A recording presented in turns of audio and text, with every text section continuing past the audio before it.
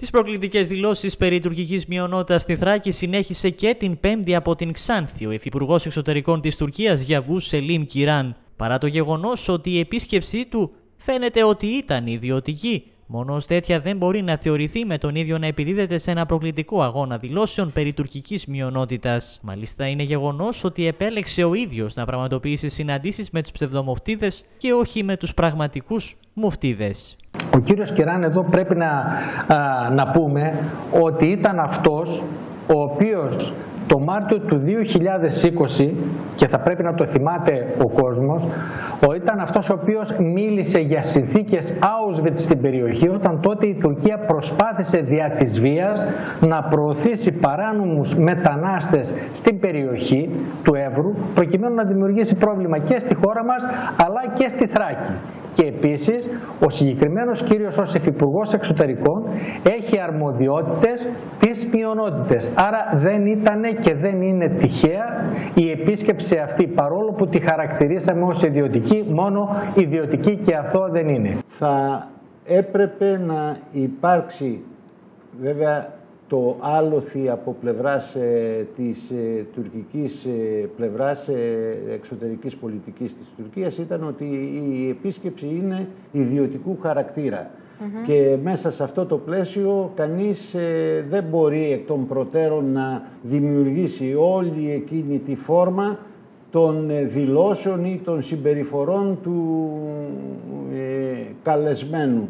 Εδώ δεν υπήρχε κάλεσμα από την ελληνική πλευρά, ο ίδιος ήρθε να δει τους ε, δικούς του, τους τουρκογενείς της ε, Δυτικής ε, Θράκης. Ε, εκείνο όμως που θα έπρεπε να γίνει είναι να υπάρχει στην ατζέντα τη δική μας διαγραφή του θέματος των διεκδικήσεων της Τουρκίας στην κοσοβοποίηση ε, της Θράκης. Κατά τη διάρκεια της επισκέψεώς του, βρέθηκε και στο μειονοτικό σχολείο της Ξάνθης, δηλώνοντα πως βρίσκεται με Τούρκους μαθητές και τους γονείς τους και έκανε αναφορά σε προβλήματα που υπάρχουν στην εκπαίδευση των μειονοτικών της περιοχής. Μάλιστα, επισκέφθηκε και την αυτοαποκαλούμενη Τουρκική Ένωση της Ξάνθης, τονίζοντας πως η Τουρκία βρίσκεται δίπλα στα αδέρφια της και πως θα συνεχίσει να στηρίζει τους αγώνες της συγκεκριμένης αυτοαποκαλούμενης Ένωσης. Χθε και σήμερα ξεκίνησε η επίσκεψή του από Θεσσαλονίκη, χθες ήταν στη Κομωτινή και σήμερα ήταν στη Ξά. Χθες το βράδυ εμείς οι αιρετοί, οι δήμαρχοι και οι τρεις βουλευτές ήμασταν στο γεύμα, καλεσμένοι στο γεύμα του Ιφτάρ που είναι η ιδιαιτερότητα των ημερών και δεν είχε επίσημο χαρακτήρα, δεν είχε ούτε πολιτική χρειά, δεν κράτησε και πολύ, ήταν μία-μία μισή ώρα δεν, ε, πιο πολύ ο κύριος ο υπουργός πιο πολύ συζήτησε τα θέματα με τους φορείς και όχι με τους βουλευτές. Και συγκεκριμένα θέλω να αναφερθώ ότι δεν συζητήσαμε τίποτα για τα τρέχοντα θέματα στη Θράκη. Δεν αναφέρθηκε καθόλου. Δεν μας έδωσαν το λόγο, άρα ήταν μια τυπική συγκέντρωση. Πιο πολύ προτίμησε να μιλήσει, να συζητήσει τα θέματα της Θράκης με τους μουφτίδες, ε, με, με τους φορείς, με τους συλλόγους και επισκέφθηκε νομίζω ε, το μειονοτικό σχολείο της Ξάνθης. Μάλιστα είναι ενδεικτικό πως θέμα τουρκικής μειονότητας στη Θράκη έθεσε εκ νέου ο Υπουργός Εξωτερικών Μευλού Τζαβούσογλου μόλις λίγες ώρες μετά τις προκλητικές δηλώσεις του Γιαβού Σελίμ Κιράν. Ναι, είναι καλό να είναι πάρα πολύ προσεκτική η Τουρκία, ε, ειδικά στο ζήτημα της Θράκης, είναι σαφές ότι υπάρχει μια εθνική, ελληνική, μουσουλμανική μειονότητα. Δεν υπάρχει καμία τουρκική μειονότητα εκεί. Η μειονότητα είναι ελληνική και είναι μουσουλμανική.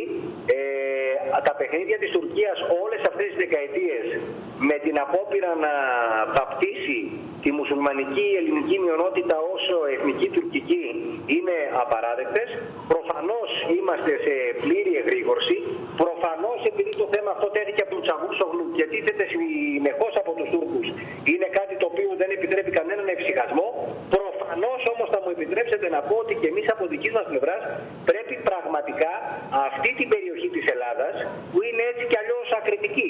Εν Εν κατακλείδη, ο Υφυπουργός Εξωτερικών της Τουρκίας έδωσε επιλεκτική συνέντευξη τύπου σε συγκεκριμένα μέσα μαζικής ενημέρωσης, στην οποία μετέφερε μάλιστα τους χαιρετισμούς του Ρετζέπτα Γη Περντογάν αλλά και του Μευλού Τζαβούσογλου, στους όπως ανέφερε Τούρκους της Δυτικής Θράκης.